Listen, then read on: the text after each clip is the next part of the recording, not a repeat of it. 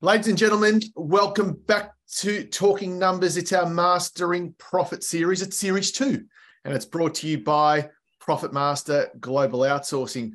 My name is Paul Jansz, and it is fantastic to be back. Now, this six part series, we're going to break down a few key things. It's probably going to be over a 15 to 20 minute series.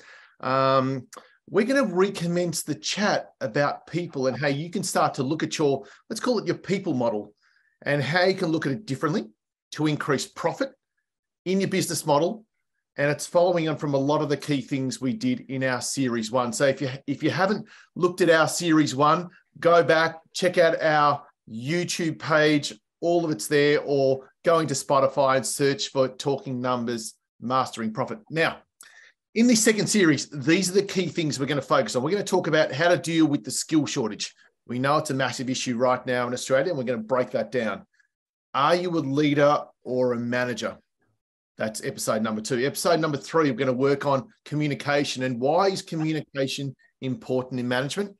We're going to look at three ways to prevent victim blaming, blaming, sorry, and happening in your workplace. I know victim blaming is a is a really interesting one. So I look forward to delving a little bit deeper into that and giving you guys some some really good thoughts about how you can start to work through that achieving maximum client satisfaction it's probably something that um, with my coaching hat on i used to do a lot and talking about what is client satisfaction what do clients want what do we provide? So we're going to delve into that a little bit deeper and then we'll end this series talking about respect diversity and creating culture in the workplace. So it's a six part series. I mentioned before that my coaching background, I've done a lot of this sort of work, whether it be with firms in Australia, New Zealand, the US, the UK, parts of Asia, the problems are very similar. The challenges are very similar. They're the key things that we're going to focus on with the people aspect. Um, look, this continued series again is going to be with the founder and CEO of Profitmaster. I've got Richard Croaker. Rich, how are you? Welcome back, mate, to Talking Numbers Mastering Profit. Hey, Paul, how are you? And uh, very nice to be back.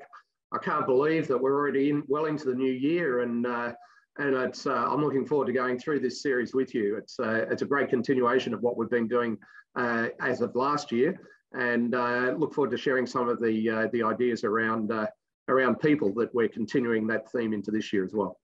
Fantastic.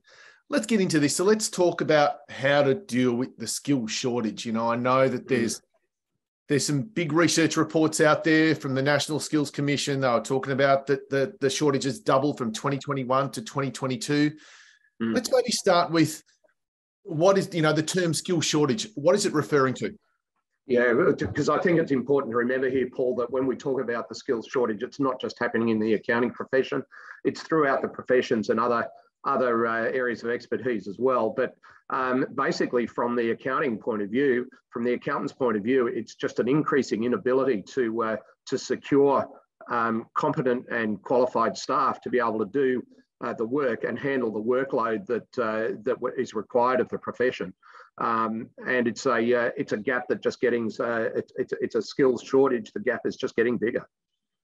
Yeah, look, I think it's it's, it's amazing that you know, um, the firms I was with last week, and I had lunch with one in particular on Friday. That we we sort of got into this discussion, and it was interesting that there that, that that's a massive uh, barrier to, to growth. You know, they mm. want to bring on new people, they want to offer uh, new opportunities within the industry, yet you know they've they've got this ceiling. They're saying, well, unless we can find people, PJ, this is a continued problem to our to our top line, which then obviously affects our bottom line. And we're talking about mastering profit here. So it's an interesting one. So why do you think this is happening? Uh, um, well, I'll just pick up on your point firstly, which is that it, it's happening across the profession. Um, it's not only in the um, in the big firms, but it's in the small firms. And, and in our business, we're working with, um, with single practitioner firms through to multi-partner firms to top 20 firms. Um, they all have the same issue.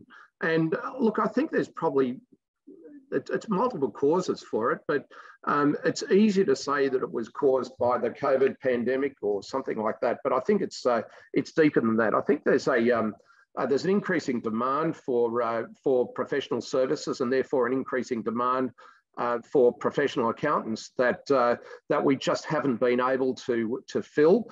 I think that there's a limited supply of skilled professionals in the accounting profession, and uh, that's partly um, been caused by um, a delay in wages growth in the profession compared to uh, uh, commercially based uh, salaries for professionals, and that's been going on for some time. Um, I think um, also um, uh, accounting technology has really changed the nature of accounting, and I'm not sure if we as a profession have kept up with those changes, particularly in um, uh, in in some of the technology that we're working on, and uh, and that's partly caused by the other reason, which I think is um, uh, we're all becoming increasingly aware of this. Um, at the senior levels, there is an aging workforce um, developing amongst the accounting profession, um, such that um, uh, the number of um, you know qualified professionals at the partner level is decreasing. Guys are moving out of the profession, they're retiring and moving on to uh, greener pastures. But I, I, think if I was to pick them, they, they are probably uh, the top reasons that uh, that yeah. that I'm seeing when I talk to other professionals. Yeah, I would agree, hundred percent. So, so when we're talking, let's say, skill shortage, skills gaps, um, what sort of skills gap may affect businesses? You know, I suppose for our for all of our listeners listening to this, uh, are you you okay to go into a little bit of detail around that and you know the the effects of you know the effects of not having those right skills? And I sort of mm. mentioned a little bit before. You mm. okay to go into a little bit of detail based yeah, sure. on in your experience? Yeah, yeah. I, look, I think that it's much more than just uh, not being able to get the staff and do the job. Um, I, I, think one of the issues is that um, uh, the specialisation that occurs in our profession, particularly in the larger firms, means that there is an incredible need for education um, and upskilling that um, for one reason or another, um, it's a limited number of people who are doing that, uh, who are taking on those upskilling needs that are required. Um, so at the higher levels, the skills base is just not available. Um, and then it's also occurring at the, at the mid levels as well. So um, uh, seniors and supervisors are, are um, not being trained up fast enough from the graduate intermediate level. And I think also that we're just not taking off on enough graduates at the moment. Um, it's easy to say um, that let's go and get somebody out of the uh, out of the workforce that we poach from someone else, but simply poaching from someone else means that there's a gap in some other firm, and they've got to be filled some way or other. And I think ultimately the the, the solution to that has to be um, uh, recruitment and training within the profession, and we've got um, uh, fantastic professional organisations and fantastic universities that are available to assist that. Um, as a profession, we've just, as, as accountants and firm owners, we've got just got to step up and be, be prepared to take that on and provide the training, much the same as it was, was many years ago as our profession was developing. Very, very much agree with all of that. And I think the key around that as well, which we all know, the old economics 101, we go back to our high school days and you know again uh, when there's a, a, skill shortage as well here in it, it, demand or a lack of demand forces up price so we end up paying high prices for people that may not have the skill or the experience as well so therefore when we're talking about here and we're talking about how to master the profit that eats into profits because you can't get the recovery that you're looking for out of those people. Where if you were able to get the recoveries that we could have got maybe three or four years ago, I believe that's come down quite a bit. So that's the challenge then to our industry of how do you continue to do that?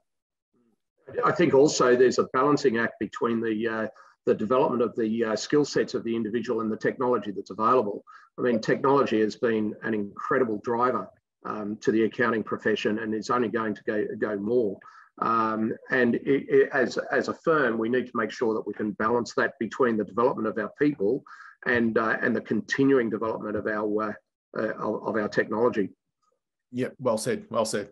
So, mate, for our listeners, um, is there a is there a five to six point plan that they could work towards to you know again we get sort of in this stage now where you know we're sort of leading into the new financial year which is ridiculous although let's give thought to that because this is probably a great opportunity for a lot of our firms and listeners to say, right, what can I start thinking about? Is there a plan that you can suggest that they can start thinking about? Yeah, it's got to be a plan. Um, I think you, you need to look at the, a couple of different things. Firstly, is your existing staff, and then your growth plan and the staff that you need to get. But I, I think coupled with that also is the um, the the exit planning for the staff who are moving on, whether they're retiring or whatever. So this has got to be a, a holistic approach to um, uh, to the to, to the talent pool, including your existing, future, and past staff. Um, first thing I'd say is the investment in the development of your existing staff. Um, your staff are the most valuable asset that you have in your firm. And, you know, it, it's important that we continue an investment in the professional development and the cultural development of our teams. Um, such that they want to stay with us, that they want to grow with us, that they see careers with us, and that they see that their future allows them to grow with us. So th- that would be the first thing. The, the, probably the second thing I think is then um, having made sure that your existing staff are uh, well under control in terms of their development and uh, uh, and culture, the culture within the firm is to to look around at other talent pools. So, um, and this particularly becomes important at the graduate level. You know, for example, hiring graduates from the universities and the colleges um, is, a, is a talent pool that we can take on. And I said earlier that I think the profession has to step back to the basics in relation to that and look at how we train our graduates. Um, and then the other one thing is, uh, is looking at possibly whether we can recruit professions from other disciplines um, and help bring them back in, bring either bring them into the firm for the first time or bring them back into the firm as a way of bridging the talent gap. I mean, keep in mind that uh, one of the biggest uh, leakages of talent from the accounting profession is people moving to uh, from the profession to commerce. So, looking at ways to be able to retain them within the profession without leaving to go to commerce, or finding ways that we can bring them back to the profession, um, or as I said, re recruiting from other other related fields. Um, and, and, one that's uh, important to me that, I, that I've been working with for the last nine years is um, uh, that we should be considering outsourcing certain tasks to other certain uh, to other uh, service providers. And I'm not necessarily saying that we're talking about offshore um, accounting service providers such as my firm, um, but also looking through the task flow and looking to see whether or not there is some of that can, that can be taken out and given to uh, and moved to other disciplines so that it's actually freeing up your internal resources um, and also accessing, accessing specialised talent when it's needed, um, particularly when that, that talent's hard to find in-house. Um, and if I could just go back to the other one, which I think is, a, is your team, is your team culture, um, making sure that you've got a positive workplace um, for people to come to work. Um, you know, you need to encourage collaboration amongst your team, encouraging teamwork, encourage knowledge sharing. I think they're probably I don't know how many that was, Paul. Did you say five? I think I gave you four. How's that? That's okay. And that's okay. Look, the, the, the key thing in this is making sure that, yeah, you are thinking differently. And I think um, doing what I do and then coming into contact with so many firms that I come into contact with, it is a consistent message that firms are being challenged to think differently. Partners are being challenged to think differently. Um, yes, the cultural aspects is a massive one, and we'll talk about that later on in this series as well. But I think the ability just you've just got to start thinking differently, and uh, sort of whether it's using, like you're saying, people offshore, like a profit master type of employee, or I think the good part about this, sorry, it's not an or. The good part about this is, and we you sort of touched on the COVID side. I think there's a lot more flexibility in our workplace nowadays maybe three or four years ago, there would have been a lot more firms that would have said, no, we're not allowing people to work from home. We're not allowing this. We're not allowing that. How do we deal with security? How do we deal with data? And I think you mentioned it as well the ability for a lot of the IT and the, the advancements in our tech and our tech stacks have also allowed that to take place. Um, during that COVID period, team members proved that they can actually be quite productive. And again, I know speaking to a lot of the firms, they've got that balance right. And then it's about making sure that, yeah, whether they've got people working from home two days a week, three days a week. Now, whether that resource is working from here in Melbourne or in the Philippines where you are right now, it doesn't matter. It's about bringing the culture together, the management, the reporting and then the outcomes. I'd, I'd agree with that. And I think that uh, Australian firms now, uh, I mean, the, the, larger firms have been doing this for some time, but uh, there's also an expectation now, and I think we're past the time of, of employers saying we will not allow work from home or hybrid arrangements. We're past that. Um, the technology is such that um, work from home and hybrid is possible. Um, the technology is such that security systems are capable of handling um, the requirements of, uh, of professional firms handling private information.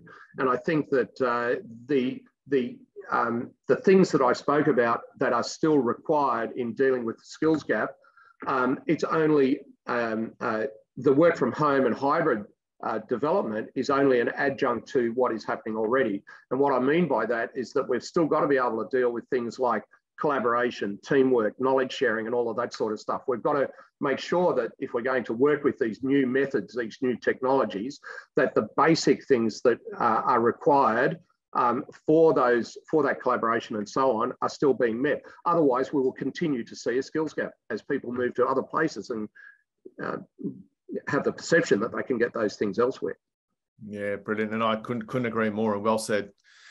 Well, mate, there you go looks like we're just wrapped up our series two, episode one. So it's it's it, again it goes fast. So if you're with us, continue to please stay with us. I hope you've enjoyed our first episode of series two of Talking Numbers Mastering Profit. Rich, thanks for joining us. To all Good of you who have joined us, stay with us. It is a six part series. We're going to continue to release the other five episodes as well. So, our next episode is talking about are you a leader or a manager? And we're going to break down who is what and who is who in the zoo. So again, to help you to try and again formulate how do you really create your team and what you should be doing from a leadership point of view and a management point of view. So thanks for joining us. Enjoy the rest of your day and stay tuned for episode two. Join us at Profitmaster. Passionate people, passionate careers.